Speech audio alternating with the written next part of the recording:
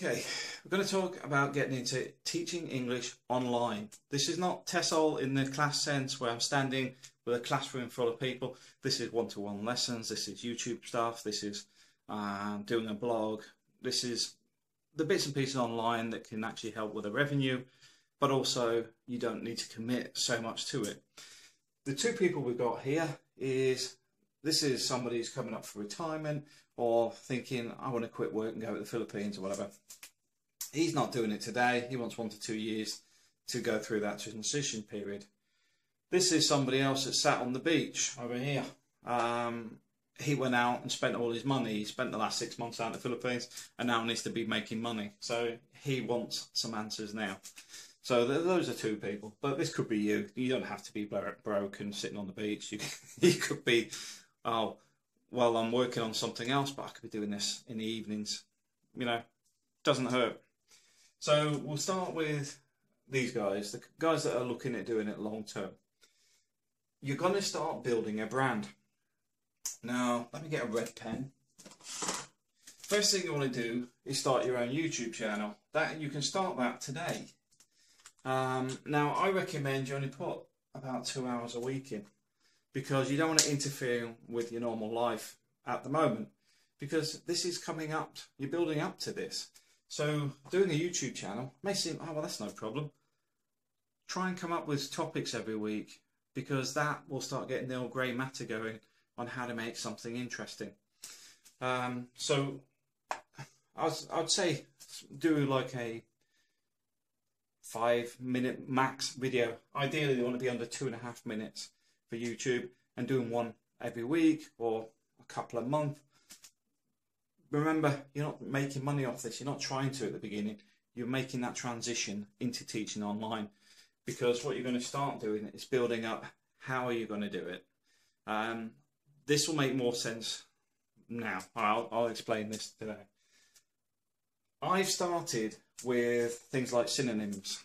Now, synonyms and uh, verbs uh, what do they call uh, gerunds, verbing, uh, verbs or ing, gerunds, that sort of stuff. I don't like teaching over and over again. So if I've got a new student that's come in and says, I don't know what that means, I don't like going over and over the same thing. So that's where the, those things will end up in my YouTube channel. Um, like um, homophones, etc., etc. They're broken down so the student can go, I'll go and have a look at that because I, I, know Matt's already done a video on it. He's explained it to me before, but I forgot. I can go to the YouTube channel and look at that. So that is not only for um, building some videos up for YouTube. It's a very useful class tool because you can just keep referring people to it because the information is already there. You you can uh, build it up over time like a library. In the same way, you can use my videos if you want. because that's that's the whole idea of this. This is why the big idea um, about having a site where everybody's teaching, because ideally everybody crosses over with each other to try and help each other. So you start building a YouTube brand, um, getting recognised on YouTube. People start making contact with you, saying, "I really liked the way you taught that. I understood it really well. Can you teach me?" Now you may actually turn around and say, "Well, I'm not really any good at this yet. I haven't actually practiced. So you might say, um, not at the moment, but I can recommend Joe Bloggs, my friend, and you may refer him for now. Because what you're trying to do is just build things up. It all depends on how you're looking to do this in the next one to two years. If you're looking at doing five students yourself, uh, for example, I have a, a, a woman in Vietnam at the, the moment she has gone from 1.5 hours a week to 4.5 because she's happy with the way she's learning. That is building up slowly for me. Um, that's I'm quite happy with that, and the fact that she's actually turned around and said, "I want three lessons a week now," actually turns around and says to me, "I'm doing it right." But you need to work up to that, which is why YouTube videos actually help you get the grey matter going to say, "What do I need to be doing?" Um, the blog, tie that in with the YouTube. The reason being is although you do things like synonyms and everything else, it's a lot to absorb in one go. So when you do your blog, it breaks it down to people. They understand it a bit more because they can see it in text and they can spend a bit of time trying to understand it. But also maybe you can help with the pronunciation with certain things by putting the, the phonics and things like that in there, making it easy for people. The easier it is, the more people are going to be interested. That then feeds your YouTube videos because you can then link them to that that says go and watch my video on phonics, for example. But if somebody's watching the phonics video, they can go through to your blog and say, go and have a look at the quiz that I've made. In the same way, you've got your Facebook here, where you can feed your YouTube over to Facebook. And in that, in your Facebook, what you're looking to do is engage with people on a regular basis and build a bit of a brand there the battle between Google and Facebook sort of makes them almost like a two search engines down the middle. So if you can get them working together, you know, Facebook and YouTube, because bear in mind, when I say Google, YouTube is owned by Google. Facebook are now pushing their own video systems, which doesn't benefit you currently because there's no revenue for you on it. Um, but you can feed your YouTube videos in there. But uploading to Facebook short videos ex for explaining, for example, I teach one-to-one lessons. I'm a English teacher, blah, blah, blah. Something short like that. Upload it into Facebook because you may pick up some students that way. But if you're not looking at doing it now, in one to two years, don't upload that video yet. then there's the website. Now, I recommend using our website. But Matt, you would. Um, the reason being is in one to two years' time, our website's been up one to two years you make the money off the students anyway. I'm not taking your money for the students. Um, you, when when your videos and everything go up into our website, you get that revenue when students go and watch it. When teachers turn around and recommend viewing your videos, you get the revenue. Obviously, we're not connected to your Facebook, we're connected to our Facebook, but you and your YouTube channel can actually use ours. So you can actually advertise your YouTube channel on our Facebook uh, channel where we're proactively building the website up. Why am I so crazy to do that? Why am I helping you? Well, the answer is I'm only one teacher. I'm not the guy on the island here. Currently, I am. I'm sat on this island on my own, and as an island, I don't stand out too well. But if I've got a teacher here, here, here, here, here, and we're all interlinked, what suddenly happens is our activity on the internet starts to push the website up. Once the website goes up, your activity increases on your YouTube, it increases on my YouTube, the website increases, and with the website, we have the separate courses and stuff we've discussed before. But you could actually even write your own courses and put them on the website tomorrow. Why would you do that? Because you don't need to be doing anything after it. You're not offering one-to-one lessons. You could even recommend somebody else to do the one-to-one lessons that you know and are very good at teaching. Now, that's where you're heading. Now, this is where all this effort becomes worthwhile. Because as you're collecting all the information, you're collecting emails, you're collecting contacts, you're collecting students. that long list of emails, etc., you can email Jane that you taught, I uh, spoke to two years ago online, and you've been sending her word of the day, etc., and say, I've, I've started teaching lessons now, are you interested? And she may go, No, I, I've used Matt now, but nice anyway.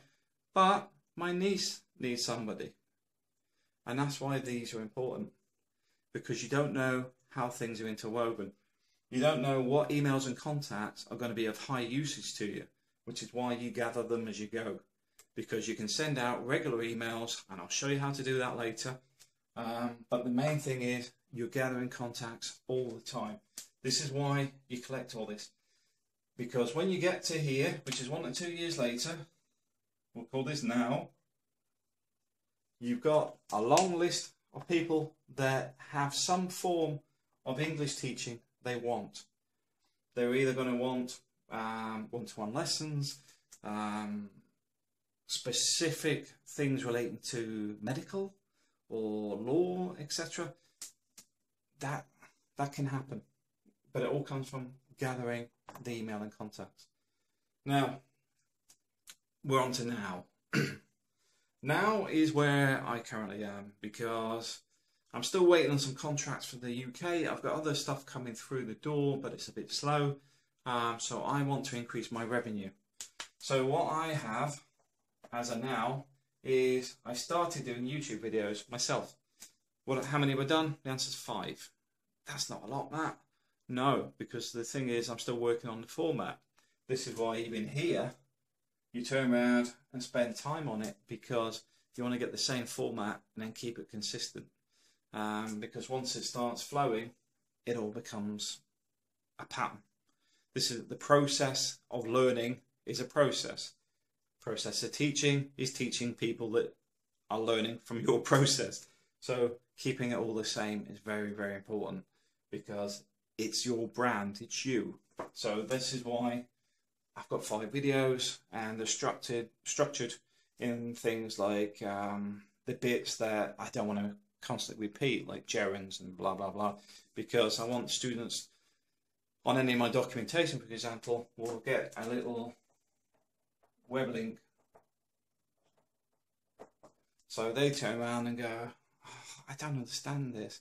Because of the because this is the majority of my stuff's online anyway, they can actually pause the video and then go and have a look at the web link, understand what what a gerund is, then go back to what they were actually studying when I sent them a video. Uh, because what you're trying to get away from is being the guy sat there constantly going, right, let's watch the video together. Okay? Because that's costing them money.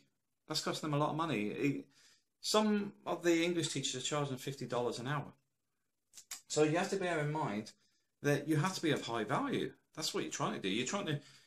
The guys that sit there and will watch a video with somebody else, people will grumble even at three dollars an hour. So what you want to do is actually make sure your lessons are worth their money. This is why what I do is I'll go right, um, Tasha. For the next lesson, I need you to go and watch this YouTube video, learn a bit about it, come back to me um, with some notes and something next lesson, and we'll discuss it and go through what actually happened in the video because she won't need to watch it unless she actually watches it or needs to watch it with me. Because if she fully understands it, it sort of defeats the object. You don't need to. She could watch that on her own and save herself some money. Um, because what I'm interested in is teaching English, not watching movies with people. Um, the website is obviously linked to the YouTube, but also this is my brand. This is me. The website is also where we're all going to be integrated. This is where I want everybody to be. This is why the website's important.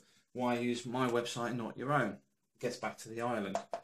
Um, this has just as much benefit to me as it does to you because a lot of this stuff here ties in with this. Because if I know you and you, um, we've gone through some of the mentoring stuff and gone through, oh, let's have some a couple of lessons, see how you get on See how you see if you're actually teaching all right. Because I know you've been doing it for one to two years with your plan, but have you taught a lesson yet?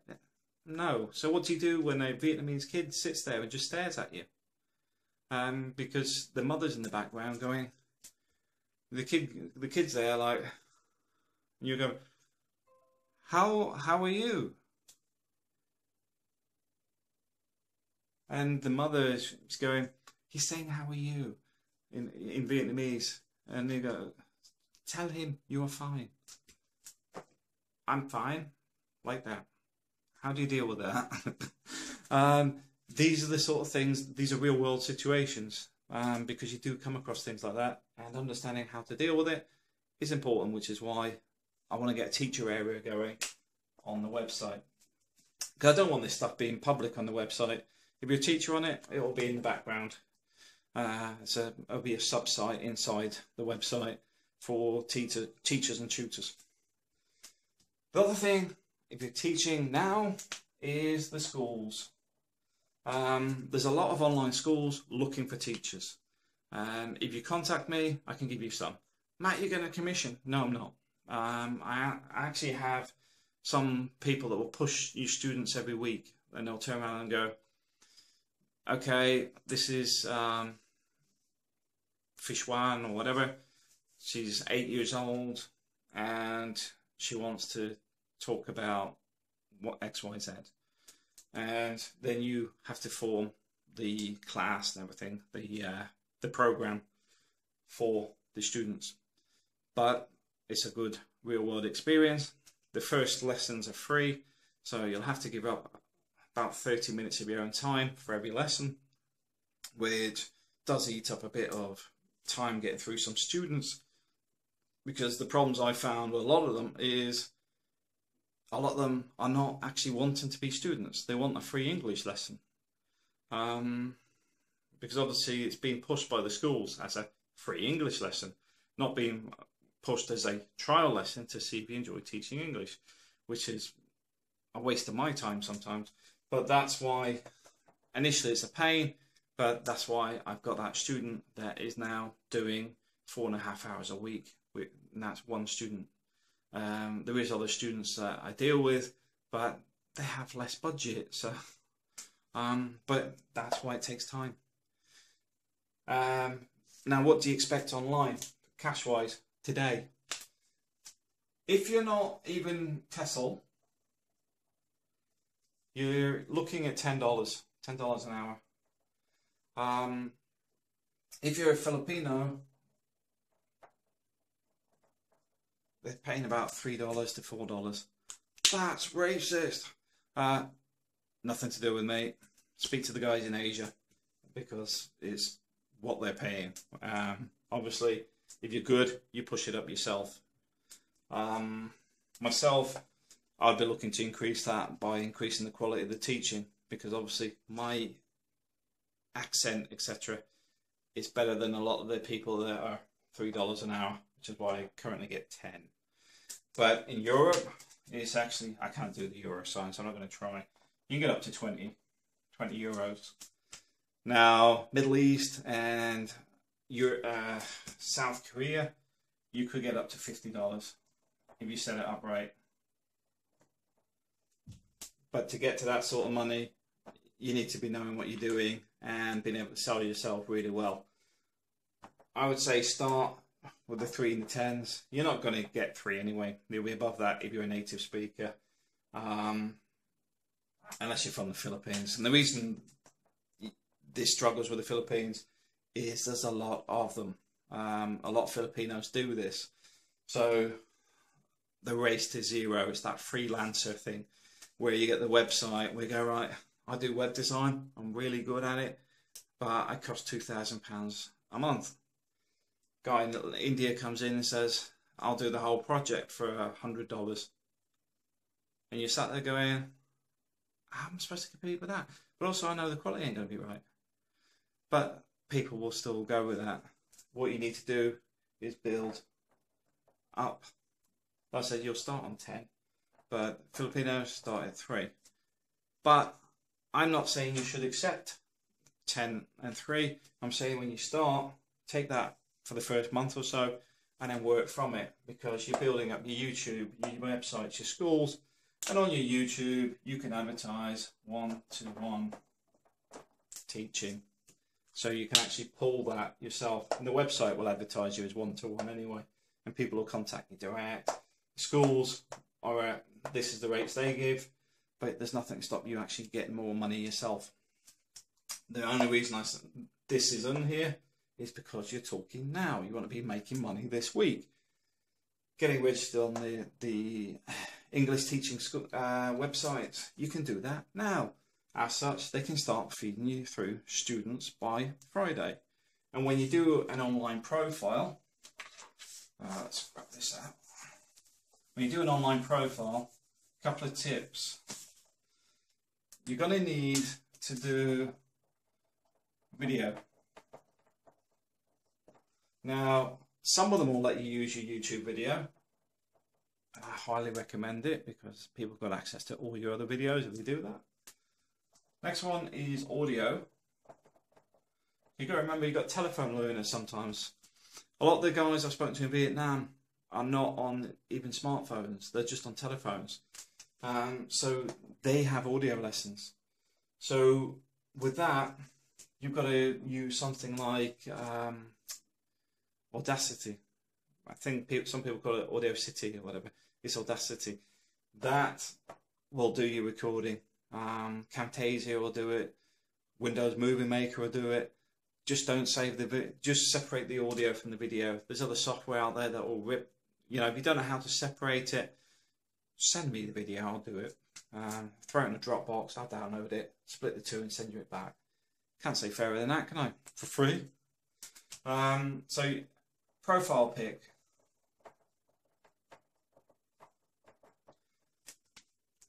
Have a look at what other people's profiles are on these schools, and you'll see which ones are doing rather well. It's all to do with how they present themselves. It's a bit like LinkedIn. Uh, LinkedIn, I find a little strange these days because people have um, profiles of grandeur. um, you have directors of nothing uh, because they're a, single man band.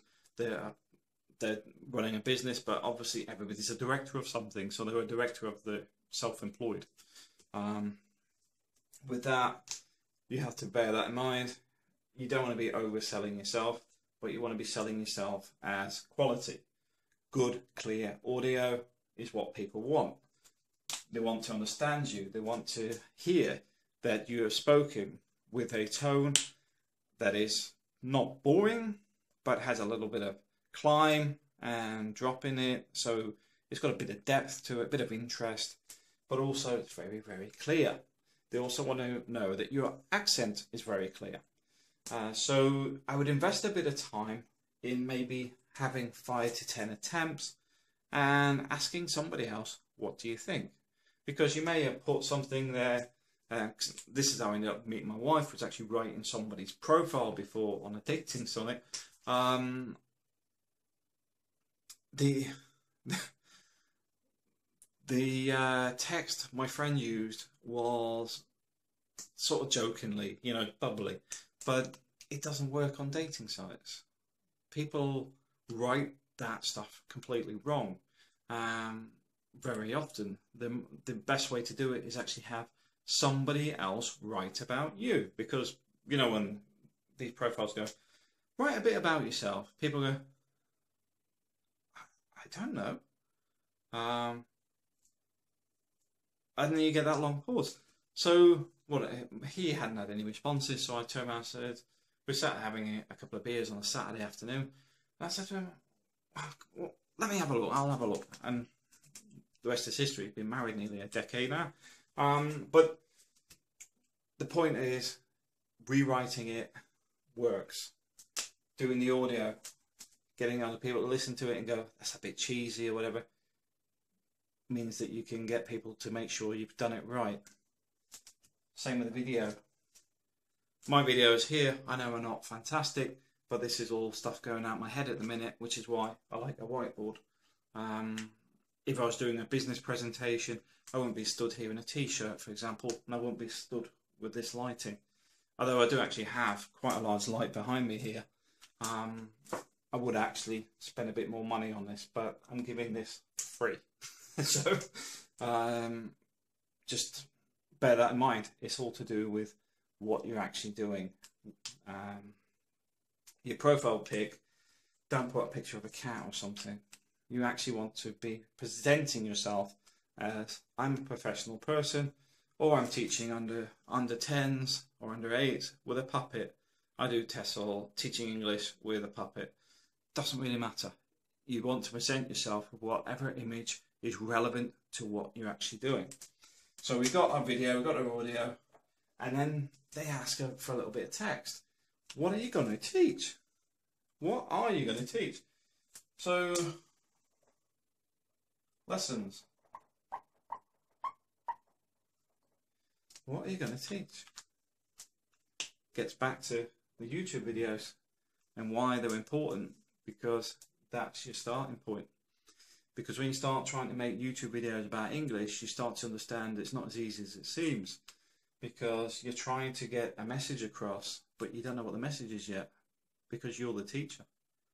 So that is why I say start with YouTube videos and putting a few things up. I've been doing synonyms and uh, homophones and other bits and pieces today, um, but they are more to do with the student I currently have, but also the fact that people can go and look at those as and when. It's becoming more of a Wikipedia rather than uh, a lesson focused direction. But what are you going to teach? Are you going to teach grammar? Are you going to teach pronunciation? Are you going to teach business English? How do you teach business English? How do you teach grammar? watch some YouTube videos, see other people, see how they do it. Some of it I find really frustrating because I think they overcomplicate things. Because I am from an engineering background. As an engineer, I don't like chuff. I don't like excessive use of words. I don't like things that don't say what you need to be saying. A lot of the time, the YouTube videos are excessive they're done in a way where a teacher is trying to explain a subject to a student as if they were the teacher. What do I mean? Gerunds, for example. Gerunds, I would simply say, is a verb with ing stuck on the end. That is a gerund. I would simply try and avoid putting gerunds into the lesson whatsoever as a subject to learn. I would, however, make a small YouTube video explaining what a gerund is that the students can review separately because I find that stuff is often too complicated. Um, but as I was saying, a lot of it is done for the wrong people because they've been taught a certain way by teachers teaching teachers, then trying to transfer that knowledge to students, and it's too complicated because if they understood that in the first place, why are they in your lesson? Simple question. Anyway, I'm going to cut this off here, but I just wanted to put these points across to get a few ideas back from you, put some comments, and I know there's been a couple of people ask me how do they get started in this, and that's how you get started. Now, if you want to know how to set up a YouTube channel, website, school, and all this, I'm gonna have to sit and do a load more videos on this. I may end up as a course on its own on the website. A free course as well. Um, the more advanced stuff I may end up charging for simply because when it gets really complicated, there's money in it, and giving away this information for free will get you kick-started. But later on, when you start going, well, where do I get my lesson plans from? Uh, blah blah blah either you've got to think for yourself or you start using my grey matter and we start producing everything for you and then we start feeding things to you. Um, there's multiple ways to do this. And some of this, eh, like this, I don't mind doing, but when people start asking me about stuff they should already know, etc., I may start saying I have to charge for it uh, purely because it's time consuming. I'm not talking megabucks anyway. I'm just talking maybe putting a course together on how to set up your first website from here to here. Um, maybe five dollars or something. I'm not charging the earth. Why? Because you want to get started now, and if you didn't need to get started now, um, you may be in one to two years, for example. You, the fact that you need to do it tells me that you very likely need some cash flow at the same time. So I won't overcharge on anything. Um, I'm not f- for that. Education for me is important in the transition of information and knowledge from one person to another. Um, I find that doesn't transfer too well these days, from my personal viewpoint. Um, too many people die with their information going with them, which is why I like transferring my knowledge there. Maybe when I am gone, that people still watch my videos. All right, thanks for watching.